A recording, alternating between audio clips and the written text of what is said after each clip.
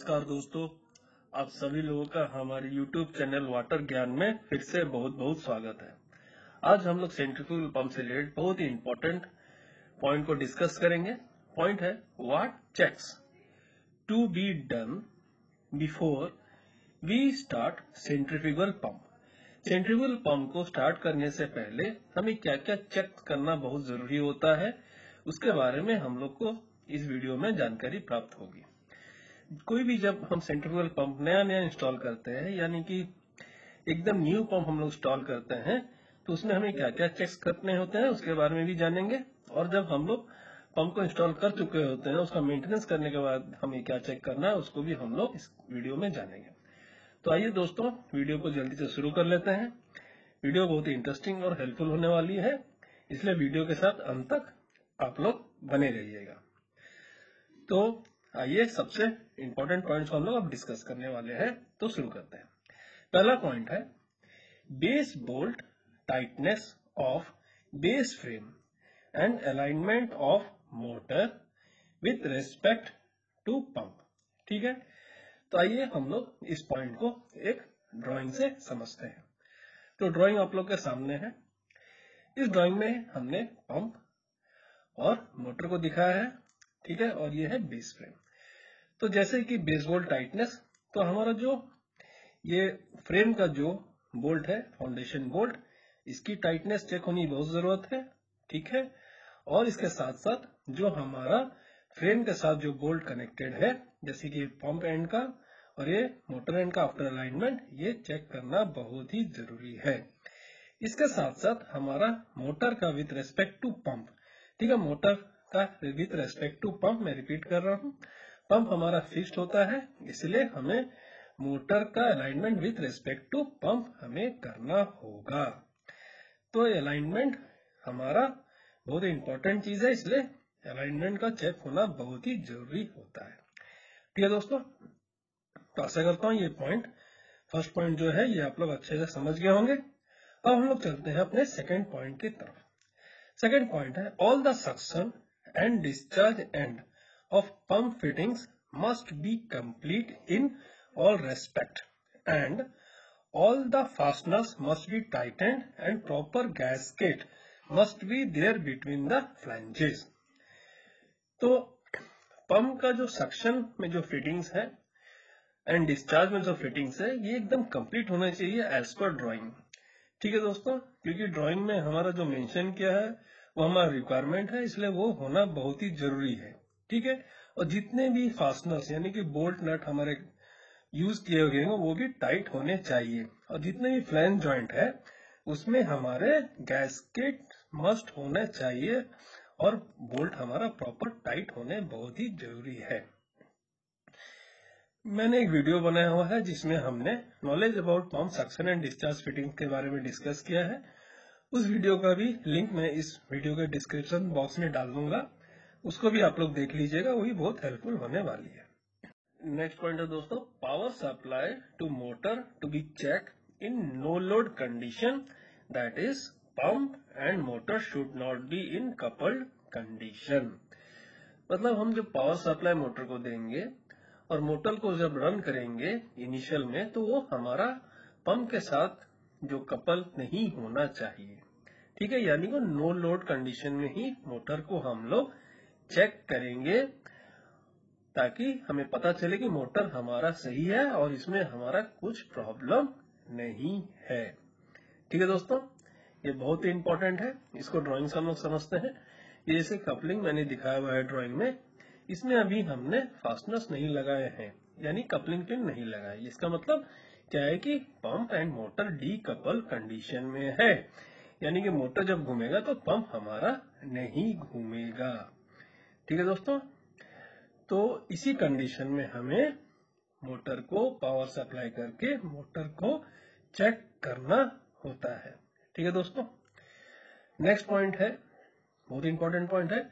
Direction of rotation of motor as per pump to be check हमें motor का जो rotation जो है डायरेक्शन वो पंप का जो रिक्वायरमेंट है, वो होना बहुत ही ज़रूरी है। मान लीजिए हमारा पंप का रिक्वायरमेंट है क्लॉकवाइज जो नॉर्मली देखने को मिलता है तो मोटर का रोटेशन भी क्लॉकवाइज होना चाहिए। अगर वो एंटी क्लॉकवाइज हो जाएगा तो हमें पंप से आउटपुट नहीं मिल पाएगा। इसलिए direction of rotation motor is very important ठीक है? लास्ट पॉइंट है ग्लैंड पैकिंग और mechanical seal to be check हमारे पंप में ग्लैंड पैकिंग अरेंजमेंट होता है या मैकेनिकल सील अरेंजमेंट होता है। अगर मैकेनिकल सील अरेंजमेंट है तो उसमें लिए ज़्यादा इंपॉर्टेंट नहीं है बट ग्लैंड पैकिंग है तो हमें उसमें ग्लैंड पैकिंग नॉर्मली जो सप्लाई करते हैं, वो नहीं फिल करके देते हैं। वो हमें ग्लैंड पैकिंग एक बॉक्स में सप्लाई कर देंगे। तो हमें ग्लैंड पैकिंग को भरना बहुत ज़रूरी है, ठीक है? तो आइए इस पॉइंट को भी हम लोग एक ड्राइंग से समझते हैं। ताकि अच्छे से क्लियर हो जाए। ठीक है दोस्तों? तो आइए हम लोग इस चीज़ को ड्राइंग से समझते हैं। तो जैसे कि मैंने पहले बताया था कि जो पावर सप्लाई है, हम लोग मोटर को जो देंगे तो मोटर में टर्मिनल बॉक्स होती है। ठीक है? इसे हम लोग केबल कनेक्ट करते हैं ताकि हमारा पावर सप्लाई हो। तो जब हम लोग मोटर को इनिशियली चेक करेंगे तो उस कंडीशन में हमारा जो क्या है कपल नहीं होना चाहिए पंप के साथ। क्लियर? यानी मोटर हमारा नो लोड में ही रन करके हमें चेक करना होता है। ठीक है दोस्तों? क्लियर? और हमें जब चेक करेंगे तो डायरेक्शन जो है, रोटेशन ऑफ़ मोटर, ये भी एज पर पंप हमें चेक करना होता है, ताकि पंप का जो डायरेक्शन रिक्वायर्ड है, उसी डायरेक्शन में हमारा मोटर घूमे। ठीक है दोस्तों? ये बहुत इंपॉर्टेंट है डायरेक्शन ऑफ़ रोटेशन। ठीक है? ये बहुत इंपॉर्टेंट पॉइंट है। उसके बाद हमने बताया था कि ग्लैंड पैकिंग और mechanical seal to be check तो हमारे पंप में, इस पोजीशन में हमारा मैकेनिकल सील और ग्लैंड पैकिंग का अरेंजमेंट होता है। अगर मैकेनिकल सील है तो उसे डिस्टर्ब करने की ज़रूरत नहीं होती है, लेकिन अगर ग्लैंड पैकिंग अरेंजमेंट होता है तो इसमें ग्लैटन रिंग होती है तो हमें ग्लैंड पैकिंग जो रोप होती है, वो कंपनी प्रोवाइड करती है। ठीक है? उसे नहीं लगाएँगे तो हमारा जब सक्शन में पानी आएगा तो ये लीक होने लगेगा यहाँ से। जैसे कि मैंने एरो करके आप लोग को दिखाया है। इसलिए हमें ग्लैंड पैकिंग को फील करना बहुत ही ज़रूरी होता है। अगला पॉइंट हम लोग देखते हैं दोस्तों। अगला पॉइंट भी बहुत इंपॉर्टेंट है। Lubrication of pump and motor bearing is must very important point है दोस्तों। लुब्रिकेशन हमारे को बहुत ही इंपॉर्टेंट है, क्योंकि अगर हम ये नहीं करेंगे तो हमारा बेरिंग फेलियर होने के चांसेस बहुत ही बढ़ जाते हैं। ठीक है? तो lubrication of pump and motor दोनों कंडीशन में हमें ये ध्यान देने वाली बात है, अगर बेरिंग हमारा डबल जेड नहीं है, यानी डबल साइड से सील नहीं है, तभी हमें लुब्रिकेंट का यूज़ करना है। ठीक है? मोटर हो या पंप हो तो ये क्लियर होना बहुत ज़रूरी है। तो किसी किसी में ग्रीसिंग ग्रीस यूज़ करना होता है और किसी किसी में पंप में ऑयल का। ठीक है? तो लुब्रिकेशन इज़ वेरी इंपॉर्टेंट लेकिन ध्यान देने वाली बात क्या है कि हमें बेरिंग के नॉलेज भी होनी चाहिए कि उसमें डबल जेट बेरिंग है या प्लेन बेरिंग है। तभी, अगर प्लेन बेरिंग है, तभी हमें लुब्रिकेशन का यूज़ करना होगा।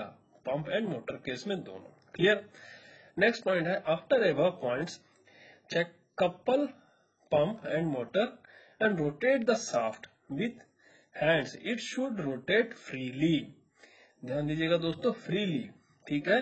Without any obstruction if rotates freely put the coupling guard to its respective position तो आइए इस पॉइंट को हम लोग ड्राइंग से समझते हैं।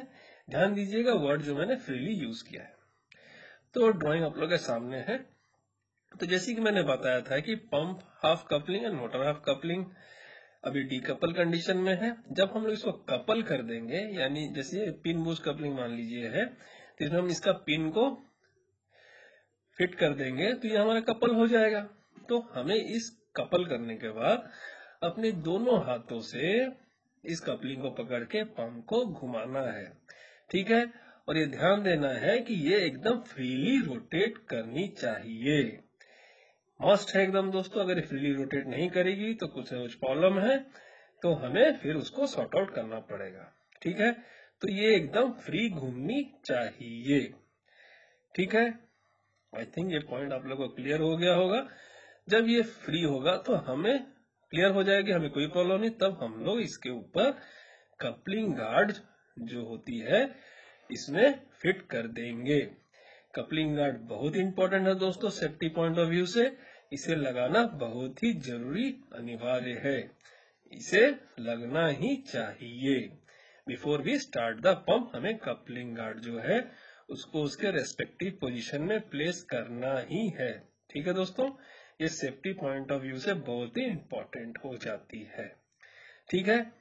आशा करता हूँ ये सारे पॉइंट जो अभी तक हमने डिस्कस किया आप लोग समझ गए। अगला पॉइंट है check the tank level from where the pump will suck the water and in addition to that proper piping support is must ठीक है? तो हमें जिस टैंक में पंप हमारा सक्शन ले रहा है, उसको चलाने से पहले हमें ये भी तो देखना है क्या उस टैंक में पानी है भी या नहीं। अगर नहीं होगा तो पंप चलाने से भी क्या होगा? कुछ फ़ायदा नहीं होगा। तो टैंक लेवल हमारा को देखना बहुत ज़रूरी है, और पाइपिंग सपोर्ट ये मस्ट है। ये पहले भी हम लोग चेक कर सकते हैं। अगला point open the suction valve of pump and do the priming priming is very important before we start the pump ठीक है of pump during this the discharge valve must be in close condition और to be kept open not more than 10 to 50 percent of valve ये point बहुत important है दोस्तों। कि pump start करने से पहले हमें प्राइमिंग ऑफ़ पंप करना बहुत ही ज़रूरी है। ठीक है? और जो डिस्चार्ज वाल्व है, उसे हमें क्लोज करके रखना होगा। ठीक है? अगर छोटा वाल्व डिस्चार्ज वाल्व है तो हम उसे क्लोज करेंगे। और बड़े साइज़ की वाल्व है तो हम उसे क्रैक ओपन कर सकते हैं, जैसे 10 टू 15 परसेंट ताकि जब पंप चले तो प्रेशर होने का हमको इजीली खोलने में दिक्कत ना है तो प्राइपिंग इज़ मस्ट ठीक है? कोई भी पंप को हमें स्टार्ट करने से पहले। ठीक है दोस्तों नेक्स्ट जैसे मैंने बताया priming of pump is must after priming now we can start the pump ठीक है? इसके बाद हम लोग पंप को स्टार्ट कर सकते हैं। तो कुछ पॉइंट्स हमने डिस्कस किया है दोस्तों। ये पॉइंट्स को चेक करने से हमारा जो पंप को चलाने से पहले तो हमें पंप का परफॉर्मेंस में कोई दिक्कत नहीं आएगी। और चलाने के बाद हमें कुछ पैरामीटर्स को नोट करना होता है। तो वो पैरामीटर जैसे प्रेशर कितना डेवलप किया है temperature of bearings drive side and ND side of both pump and motor end ठीक है? वो दोनों चेक करना होता है कि टेम्परेचर ऑफ़ बियरिंग क्या है, बहुत इंपॉर्टेंट है दोस्तों। इसके साथ साथ हम लोग को वाइब्रेशन भी चेक करना होता है पंप एंड मोटर का drive end non drive end का। और हमें करंट भी चेक करना होता है कि मोटर कितना करंट ड्रॉ कर रहा है। ये बहुत ही इंपॉर्टेंट है दोस्तों। तो पंप को जब हम लोग पहली बार चलाएँगे तो ये कुछ पॉइंट्स है दोस्तों जिसे हमें ज़रूर ही चेक कर लेना चाहिए और चलाने के बाद ये कुछ पैरामीटर्स है जिसे हमें ज़रूर नोट करना चाहिए। लेकिन मान लीजिए कि पंप हमारा ऑलरेडी बहुत सालों से चल रहा है और हमने उसे मेंटेनेंस में लिया था और मेंटेनेंस के बाद हम लोग उसको अगर फिर से मेंटेनेंस करने के बाद अगर उसको चालू करने जा रहे हैं तो उस कंडीशन में हम इतनी पॉइंट्स की चेक करने की ज़रूरत नहीं है क्योंकि ऑलरेडी हमने जो पॉइंट्स अभी डिस्कस किया तो उसमें से ऑलरेडी पहले से है, ठीक है? तो उसको चेक करने की ज़्यादा ज़रूरत नहीं है। तो उस कंडीशन में हम लोग को कुछ लिमिटेड ही पॉइंट्स को चेक करने की ज़रूरत है, जिससे हमको आउटपुट मिल जाएगा। तो जैसे कि हम लोग उस कंडीशन में सबसे पहले क्या है कि हम लोग अलाइनमेंट आफ्टर मेंटेनेंस जो है अलाइनमेंट ज़रूर चेक कर लेना चाहिए, ठीक है? क्योंकि अलाइनमेंट बहुत ही इंपॉर्टेंट है दोस्तों। उसके बाद हम लोग को लुब्रिकेशन जो है पंप एंड पंप का मेंटेनेंस किया तो पंप का ही चेक करना है। और उसके बाद सबसे इम्पोर्टेंट पंप को स्टार्ट करने से पहले हमें क्या करना चाहिए? अभी हमने डिस्कस किया है लास्ट वन दैट इज़ हमें पंप की प्राइमिंग जो है करना बहुत इंपॉर्टेंट है, ठीक है? तो प्राइमिंग करेंगे, उसके बाद ही पंप को स्टार्ट करेंगे। तो ये सारे कुछ पॉइंट्स हैं दोस्तों, जिसे हम लोग को ध्यान देना बहुत ही ज़रूरी है पंप को स्टार्ट करने से पहले। आशा करता हूँ दोस्तों, इस जितने भी पॉइंट्स हम लोगों ने डिस्कस किए हैं, आप लोग अच्छे से समझ गए होंगे और आप लोग के लिए बहुत ही हेल्पफुल हुई होगी। आशा करता हूँ वीडियो आप लोग को पसंद आया होगा। वीडियो अच्छा लगा हो तो लाइक, शेयर एंड सब्सक्राइब ज़रूर करिएगा। वीडियो को देखने के लिए आप लोग का बहुत बहुत धन्यवाद। नमस्कार।